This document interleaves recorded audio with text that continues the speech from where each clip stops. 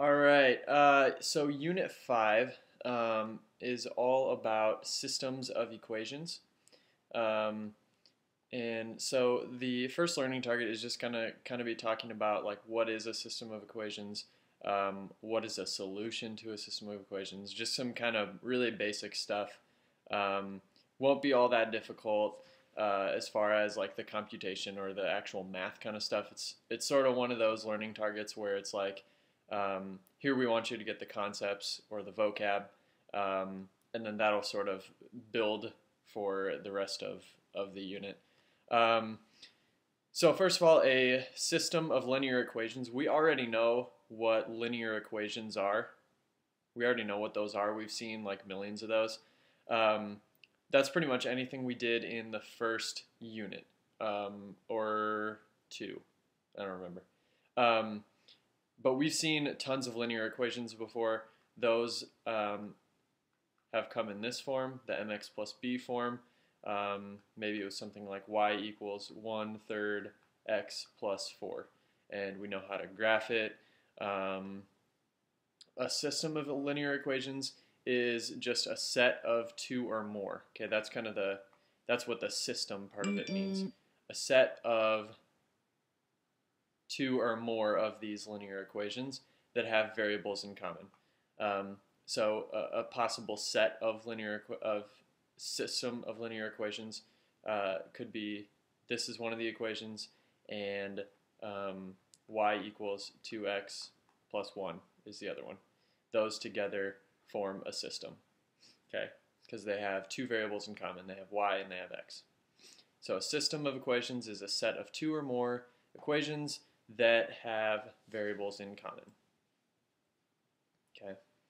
The solution um, to a system of linear equations is um, whatever makes both equations true at the same time. Okay, that's sort of the informal, and I'll write that down just if you want to write this one down. Um, this is sort of like, I guess, my own words for, uh, for a solution. Um, but whatever x and y value makes both equations true at the same time. Okay, your more formal definition here is um, when solving a system of equations, you look for a solution that makes each equation true. Um, and true, in this case, sort of means equal. Okay, and, and you'll see an example. I think the examples will really help you with that. But for now, just kind of get um, one of those definitions down. Okay, pause if you need to. Otherwise, here are a couple of examples. Um, so we're given a a set of points, we're trying to determine if that set of points is a solution to the system of linear equations. Um, so the solution um, set of points that we are given is right here. Um, and we are, our goal is to determine if that is a solution to the system or not.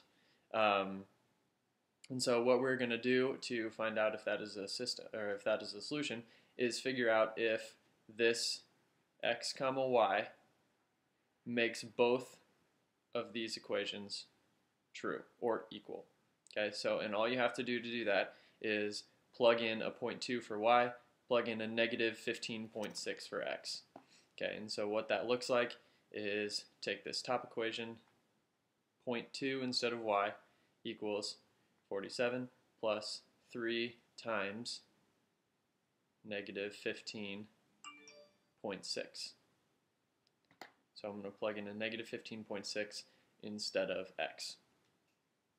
Okay, and so 3 times negative 15.6 is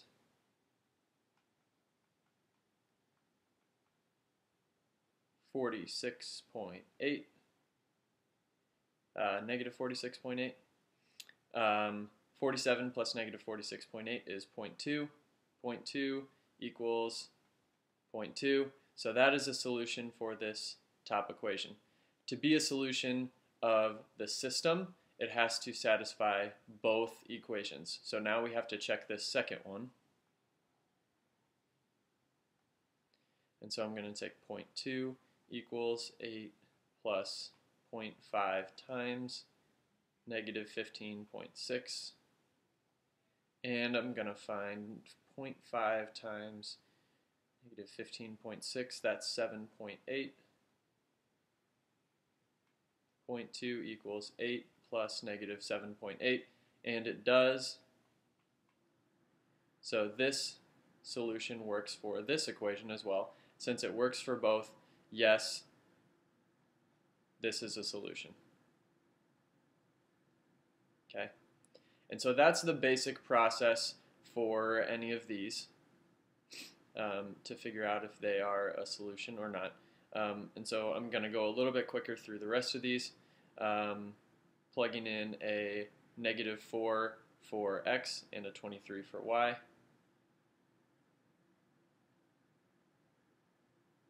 And I just put the parentheses there to make it look a little more organized. You don't have to. You can write 2 times negative 4 if you want. I just like to put parentheses because I think it looks nicer. Um, instead of y, 23, oh, I'll finish the first one. So this is negative 8 plus 23, and that does equal 15. So this one is fine. We'll check the second one. 23 equals 12 plus 4. 12 plus 4 is 16. That is not equal to 23. If they are not equal, that means that negative 4 comma 23 does not make this equation true. If it does not make one of the equations true, this is not a solution. Okay? It has to satisfy both using the same x comma y to be a solution. All right. Um, and the last one here